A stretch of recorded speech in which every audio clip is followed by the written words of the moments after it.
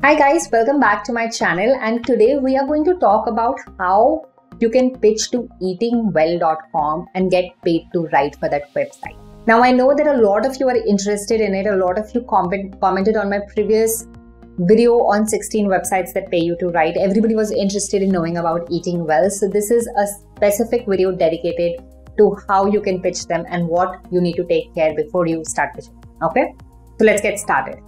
For those of you who are new to this channel, I am Chhavi. I am an online business coach, a YouTuber, and a blogger.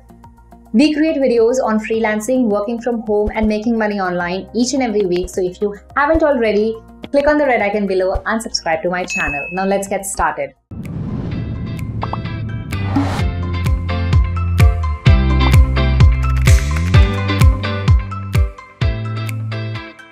The first thing that we need to understand is what is eating well. So, Eating Well is a food magazine that not only covers health, nutrition, and food, but it also covers a lot of other things. A lot of other things related to food. So, for example, the audience is interested in knowing the origins of the food. The audience is also interested in knowing any social cause that is associated to some kind of foods. There's a lot of things that Eating Well covers. So, what I want you to do is to understand the kind of articles that Eating Well writes. So you can see on the screen that eating well covers, for example, healthy recipes, special diets, diabetes, healthy meal plans, healthy eating, healthy lifestyle, healthy cooking. These are some of the categories that Eating Well writes on, and the audience is interested in knowing about these categories. So there are four things that Eating Well wants you to know before you start pitching them for a submission. The first thing is front of the book ideas. That means that you need to pitch them a very small article idea, somewhere around 150 words to 400 words. Even if you are a seasoned writer, this is where they recommend you start. They want you to consider this as a pitch for future work, for future work which is longer than this. Okay, a longer article than 400. So remember that the first time you're going to pitch Eating Well, it's going to be for a smaller article that is up to 500 words only. It's called front of the book idea. The second thing that Eating Well wants you to do is to understand the departments that they have for a freelance writer. So there are three categories that they have defined for a freelance writer. And the first one is good life. For writing under the good life section, you need to have experience as a food writer. Now there are three subcategories to good life. The first one is trending. So anything that is trending right now in health, nutrition and food is covered under this topic. The second one is travel.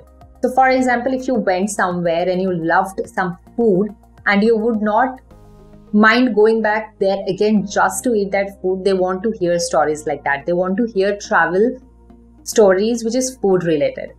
And the third thing is current affairs. If there is anything trending right now, if there is anything in the current affairs right now, and if you can pitch a topic around that, then they would love to take a look at it. This is the good life section. The second one is good health section. Now, this is all about health and nutrition. And the one subcategory that they have is fixes. So, for example, your article could say, these are the kind of foods that can help you relieve allergies. So something that fixes a problem, fixes a health problem is what is covered under good health. And the third one is food stories. Now food stories is all about new recipes. So if you're a food blogger or a food YouTuber or if you love creating new recipes of your own, then you can pitch under the food stories category.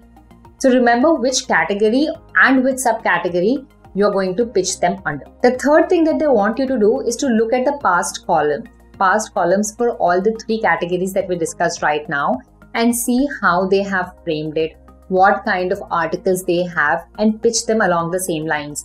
Now, see, it is extremely important that you understand what audience they have, how they write it, and when they write it to pitch them. Okay, you have to make the job of the editor easier. They are not going to take a look at your pitch if they think that you did not even bother to look at what the website is all about what the magazine is all about or what the audience wants or what is the general trend they're following for their column. Okay, it is very important that you understand that. Take out the time to understand that. Okay, and the fourth thing that Eating Well wants from you in a pitch is to tell them why they should consider something from you, why they should consider the topic that you are pitching. So, for example, you should consider this topic X in your September issue because most Americans deal with a problem like this during fall, and this could be a very relevant topic in your magazine for the September issue. Something like that. You need to give a very strong reason for them to consider your article for a certain specific issue. The more specific that you can get with your pitch, the more specific that you can get with your reason, the more chances that they are going to respond back to you and pay you to write for them. Now, let's get to the pitching tip. So, you are going to send your pitch to the email ID pitches at eatingwell.com. Your subject line needs to have exactly this it needs to say Eating Well Magazine, pitch, hyphen, the department or the category that you are pitching them in. Now they take up to one month to respond. So if they haven't responded for let's say two weeks, you can go ahead and follow up with them and send them a gentle reminder. Now in the body of your article, they want you to write two to three paragraphs about your pitch. So what your idea is all about, how you're going to present it, what you're going to talk about that talk about your idea, talk about your pitch for two to three paragraphs, post which you can talk about you as a writer. So, have you been featured somewhere? Where else have you written? Why they should consider you as a food health nutrition writer? Do you have a degree? Do you have something that forces them to consider you as a writer and accept your pitch? Now, do not attach anything. Let me repeat that do not attach your portfolio, do not attach a link, do not insert any link. They want you to tell yourself in the pitch itself. So you have words, and that's what you have to use to sell yourself as a writer to eatingwell.com. This is all about how you can go ahead and get paid writing for eatingwell.com.